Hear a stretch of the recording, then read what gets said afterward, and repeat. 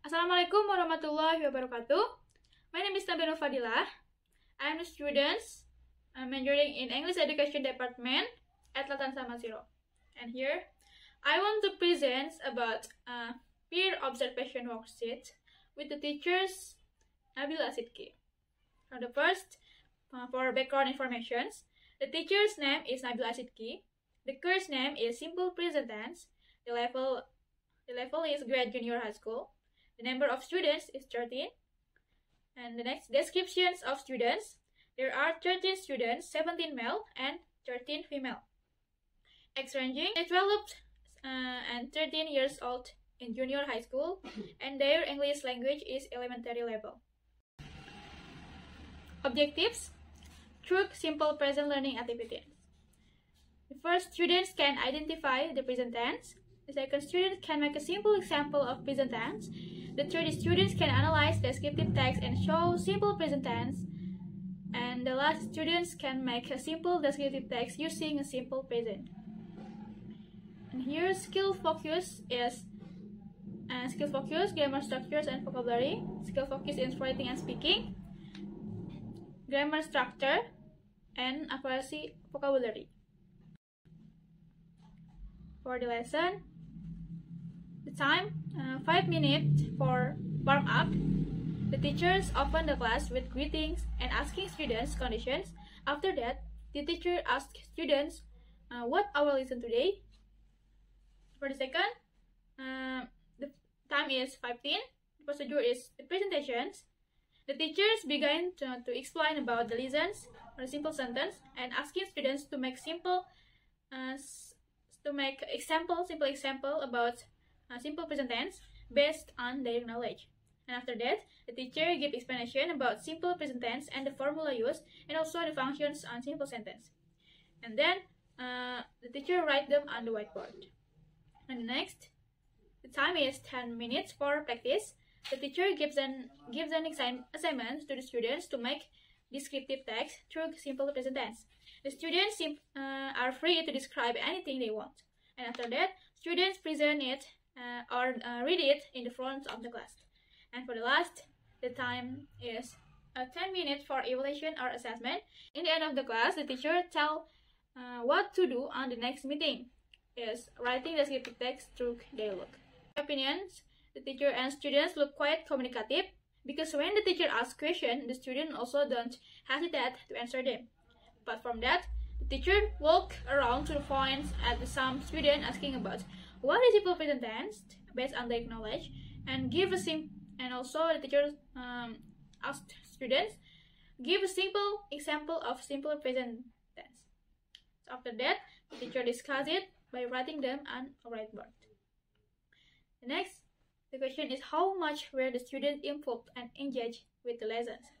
I think here, the students are quite much involved in lessons because what I see, the teacher seems to be actively communicating with his students and telling students not to be afraid to answer and communicate.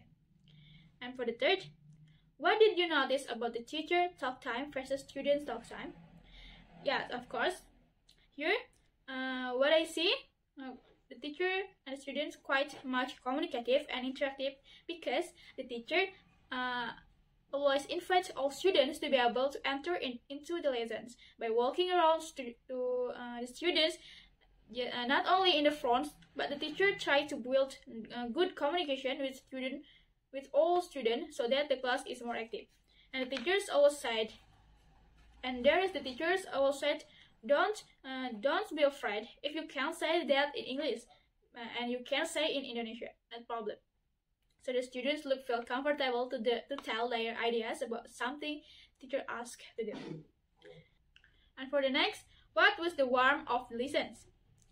I thought uh, the warm up was quite simple and I don't think it is the warm up because the teacher just come and greeted and also ask about the condition of students, then ask uh, to one of students to lead the prayer and after that the teacher immediately asked uh, what lesson we had today what we listen today and i think uh, in this time the teacher forgot to take attendance because i didn't see the teacher taking attendance and calling students name on uh, their names one by one. Question is how was the new material presented? The material convey is quite good and students don't feel bored because the teacher always builds communication with students so the learning is more active. And in learning, the teacher always lets students explore, explore and think critically by asking questions. Next, how did the learners practice the new material? The teacher gives uh, assignments to students to make descriptive text using the simple present tense, and then uh, they, the students, have to present uh, their uh, assignment or read them in the forms of the class. The next is was there an evaluations? For evaluations, I think uh, there is nothing evaluations because after the student present their assignments in the forms of the class, the teacher only give them applause to uh, only say give the applause to appreciate their work and not give an assessment or explanations about that. And at the end, the teacher only, only says, I hope you can understand and tell students about what they will do at the next meeting. But there the teacher doesn't ask student if they really understand or not and let the student ask the question if they have to. The last, in this phase, uh, write any final comments you have about the lessons you observed. And there is, I think the way the teacher conveys here is good. How he explains and builds communication with students so they can be more active in following the lessons. But uh, what I regret is that the teacher here forgets some details such as taking attendance, uh, conducting assessment, or giving explanations of examination that have been done by students. So, uh, student just do the uh, just do the their assignment and they do the presentation and just finish it. Because in my opinion, it would be better if the teacher was able to give an assessment or the feedback after they do assignment, after they are working the assignment, because uh, this will allow students to understand more deeply about the material and use the simple present tense. And this can also be a lesson if uh, the students there has been a mistake and to be corrected together. And for the last is peer observation report. The teacher presentation here is quite good.